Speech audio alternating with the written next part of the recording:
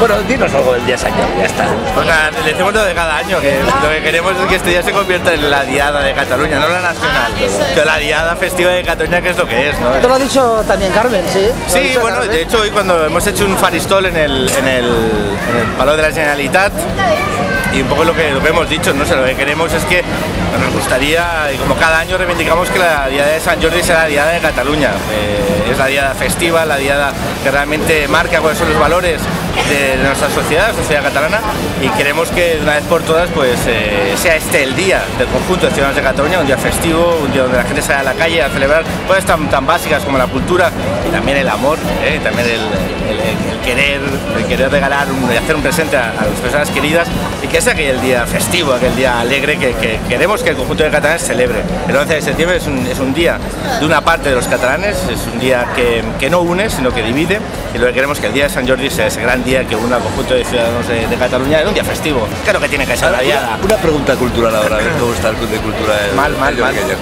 Eh, ¿Sabes eh, quién se murió hace 30 años hoy, no?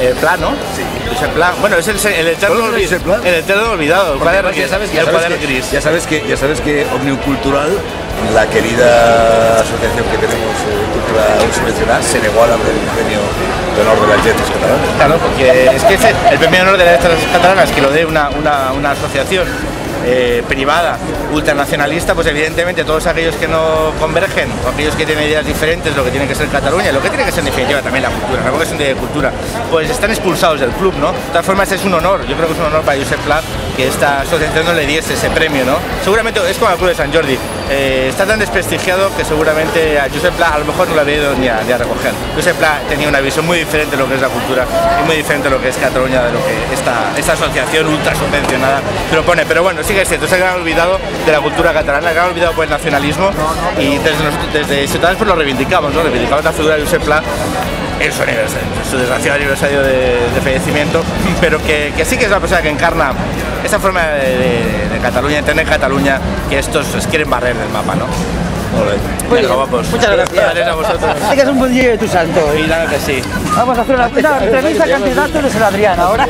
Venga, el candidato de San Adrián de ¿Qué vais a hacer con las chimeneas? A ver, Quiere convertirlo, quiere convertir un centro, un centro cultural, ¿no? Claro que sí, centro de creatividad. No les quieres demoler.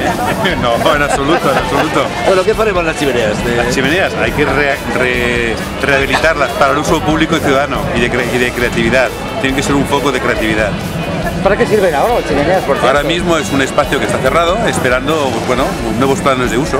Vale. Entonces, ¿qué creo que debería ser? Un, vivero, digamos, de creación artística, de creación 2.0, que pueda permitir que San Adrián sea un referente en este sector. Muy bien, muy bien, Fausto. Pues mucha suerte, venga para adelante. Hola Carmen, ¿qué, ¿qué nos dices del día de San Jordi? Te vemos por aquí que estás a gusto. aquí Pues que es un día muy bonito, que es un día de recuerdos también, porque hoy esta mañana precisamente me acordaba de lo que significaba San Jordi, la rosa que se regalan los enamorados o la familia sencillamente para demostrar cariño y que es un día de la cultura y es un día que une a todos los catalanes sin distinción. Por eso en Ciudadans queremos que la diada se haga el día de San Jordi en vez del 11 de septiembre que tiene otras connotaciones indeseadas para nosotros, porque vemos que separa en vez de unir.